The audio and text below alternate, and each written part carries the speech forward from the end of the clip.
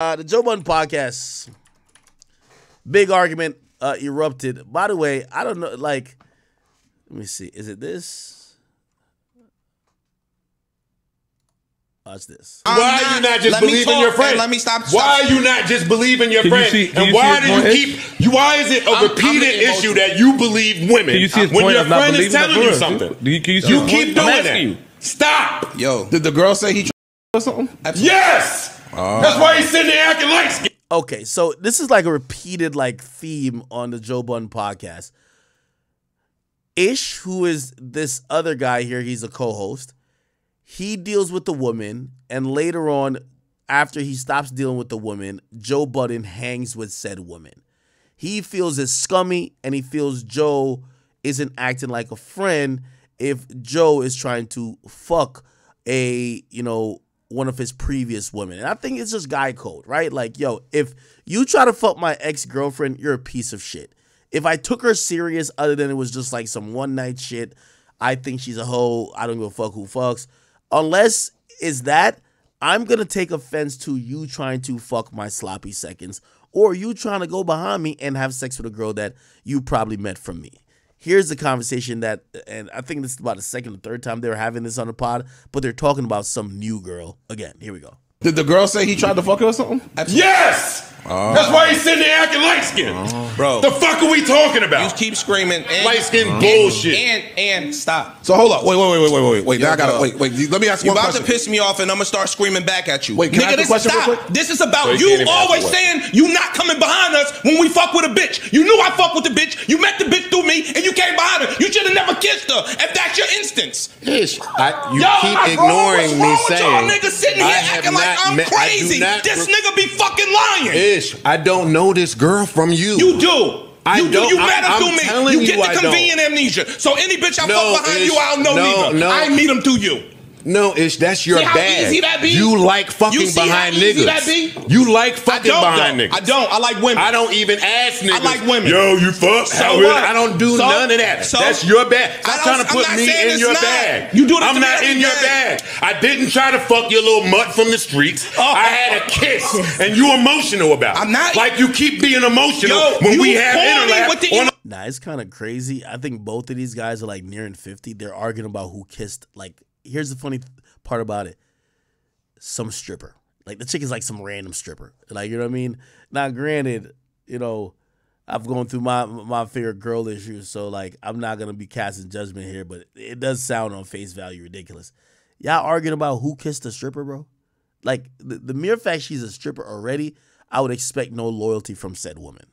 the girl. No, it's Stop not being about the girl. Then It's don't about believe you your- lying. Then why don't you believe your friend? Because you fucking. Okay, so Ish is now re repositioning the argument. He says, I don't care about the girl.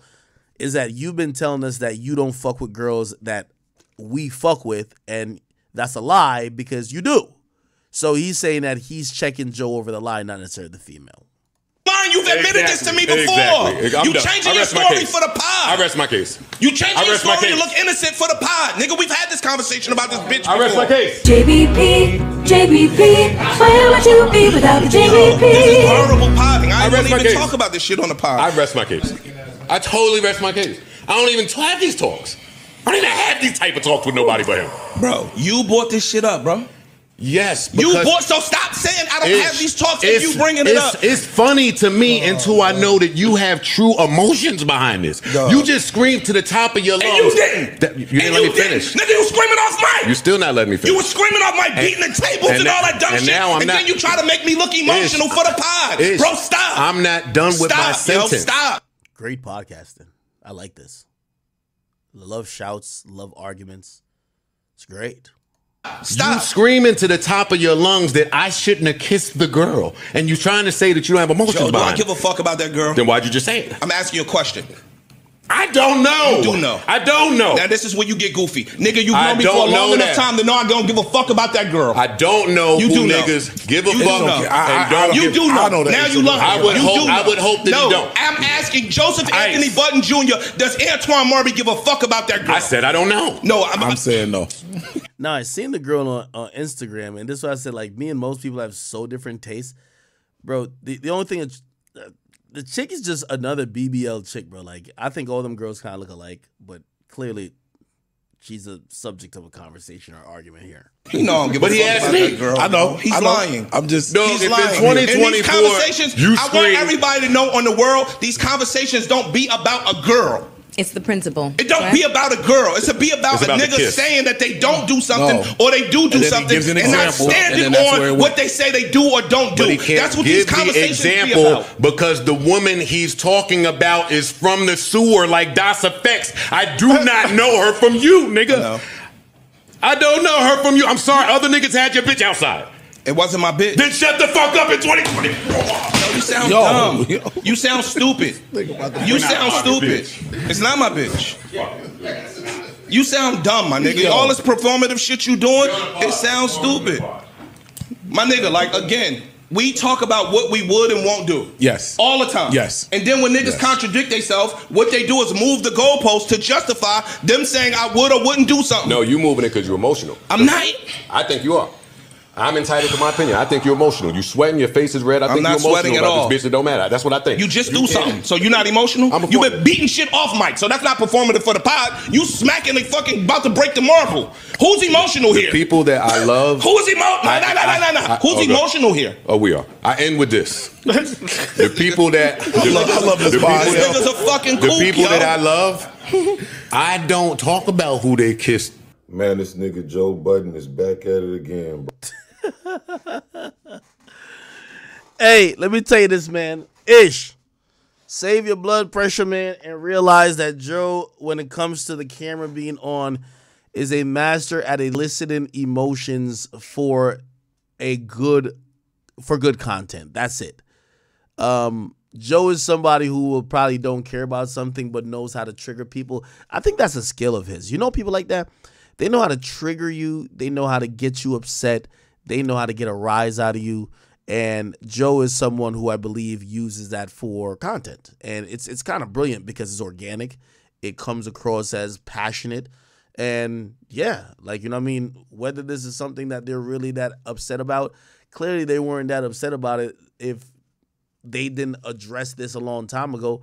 But it's great content for a podcast because you get to see two people with two different dispositions actually argue over something. So I'm not mad over it. You know what I mean? Joe's just Joe is really good at what he's he's done. Well, you know one thing I, I've I've said. You know, Ish is a great talker as well. You know he he's eloquent in expressing himself. But I have to give Joe credit for his development or his skills to develop other talent. It's like he, he's almost like a Bill Belichick type of nigga. Like he knows what you need to do to get to the next level, and if he can't inspire it in you already, he'll do some shit to drag it out of you. If you if that makes sense to you, right? So, uh, yeah, I thought that was a great podcast. I'm not gonna lie. Somebody says content at the expense of your co-host is not good content.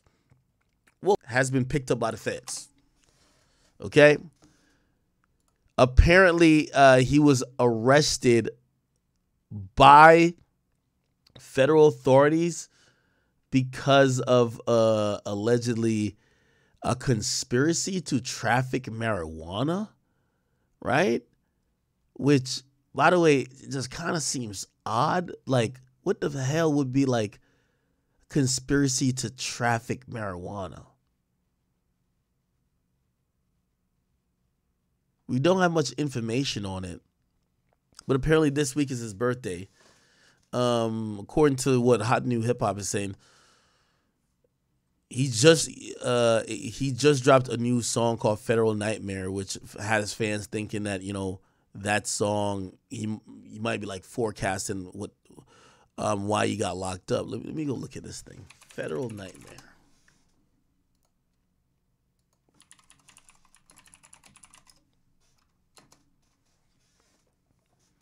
This is a song here. Is there a video? Oh, this is the video shoot. Turned up on the couch with a hundred thousand bitch, I ain't going broke. Turned down on my neck, yeah, this bitch wet, nigga, it's so so.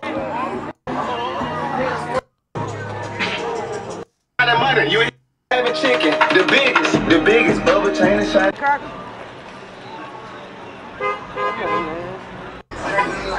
Shit, when they um next. Dice were leaving niggas on the floor. On the floor, niggas blow sin. Let him have it. Okay, there he is. Hey, bitch, I'm paying for a night. Hey, bitch, I'm paying rent. I buy you eight, nine cars with all this money that I don't spend. My lifestyle super lit. Why the fuck I'm driving without no tent? Stole a nigga, bitch. Oh, you got my nigga Bam out? Yeah, this look like some normal hood shit. Like I, I don't know why people think that this was like a like some type of like he could have seen that he was about to get locked up. I don't even know if he's uh, completely locked up. I have one of his man's info. I'm probably gonna hit him to see if he's actually incarcerated, but that just kind of seems a little vague. He's arrested for conspiracy to traffic marijuana. What the hell is conspiracy to traffic marijuana? Does it mean he was already trafficking marijuana or like he was trying to conspire to do it, but he didn't do it yet? I like Boston Richey and, and like I like his music and shit like that. But like these charges are like super vague.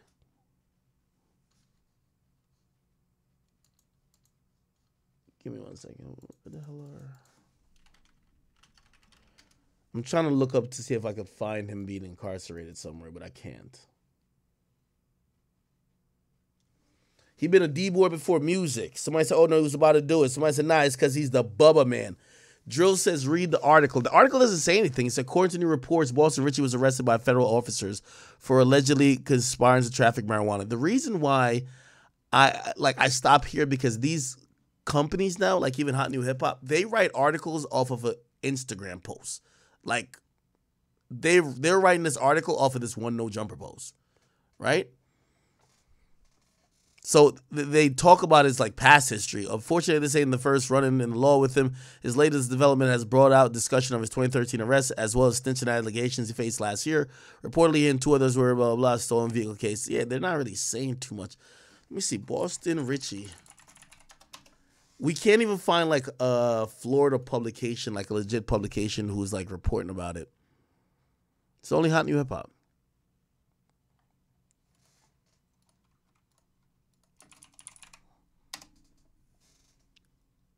Yeah, we can't find anything else like talking about it. All right.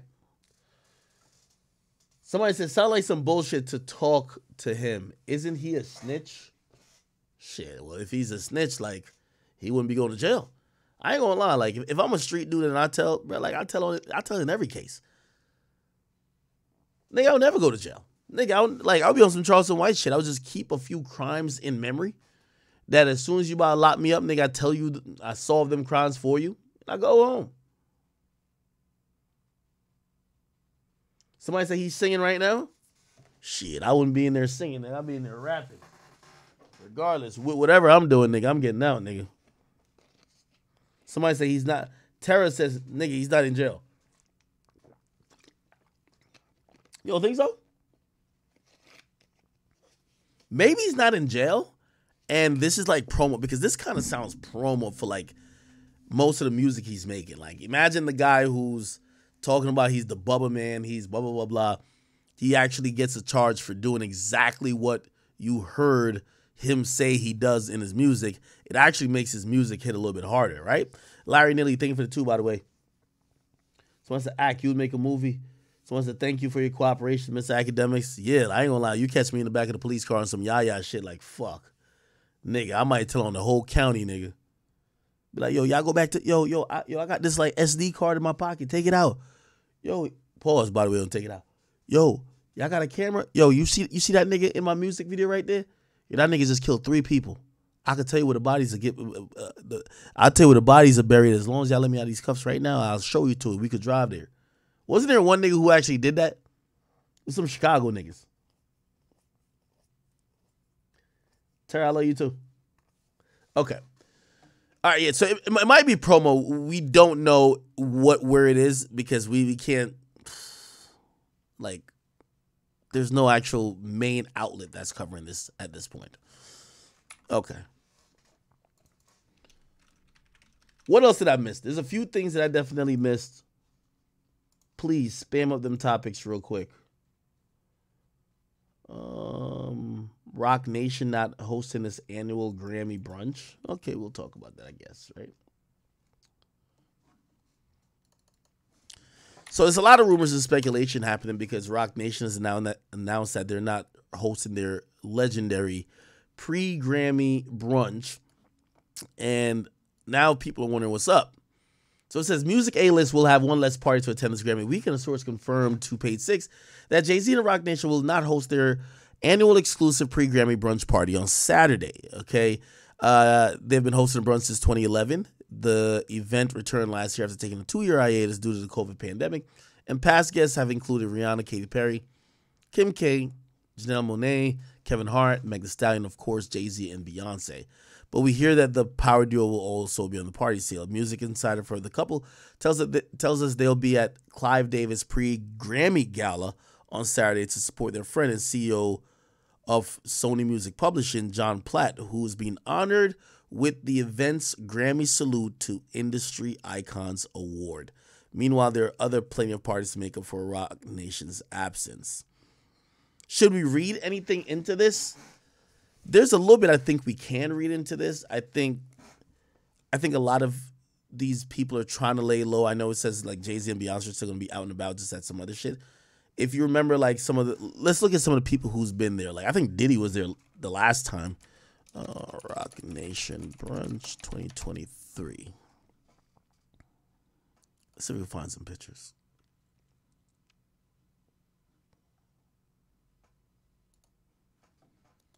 Yeah, if this was 2023, you got Diddy here, Fat Joe, Khaled, some other niggas. Yeah, uh, you got Yo Gotti. I could see like a couple people in this picture probably want to lay low right now. Gotti just allegedly buried his brother. Uh, Diddy's in a whole lot of hot water.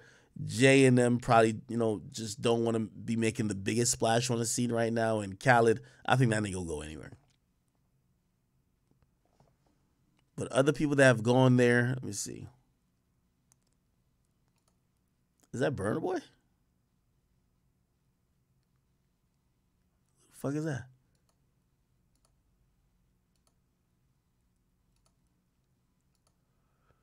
Yeah, I'm not gonna read too much into it on why they canceled. Why do y'all think they canceled?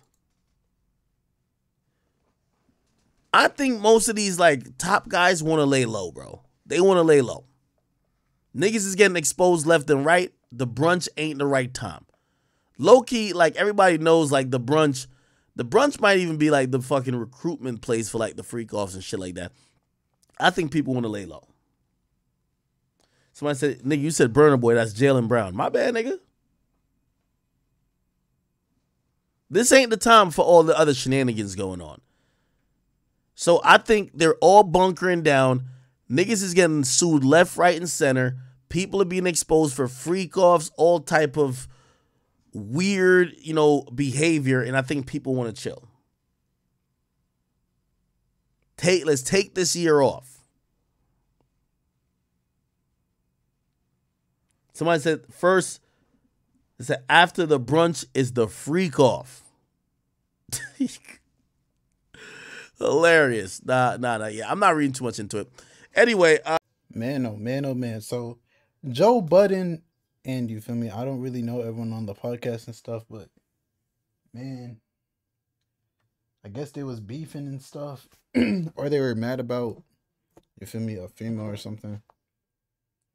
Uh, for the people who watch the Joe Budden podcast and stuff, is Joe Budden like a staple in hip hop now? Like, did he find his niche in hip hop? Because no one really, you feel me? His music career is done and stuff. I know he probably has like a top five hip hop podcast.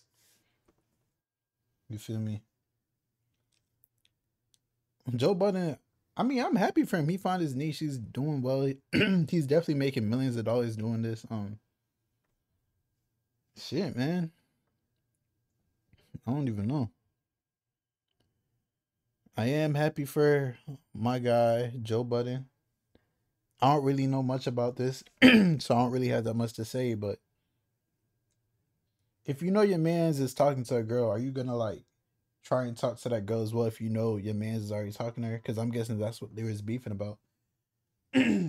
Personally, me, I wouldn't do that because that's like some snake, fake, grimy shit. But y'all let me know what y'all would do in dude situation and You feel me? Another situation, but it's your boy Big Ak News. Uh, if someone can educate me about this Joe Budden stuff, I'd really love to know. It's Big Ak News. Make sure you like, comment, subscribe, and I'm out.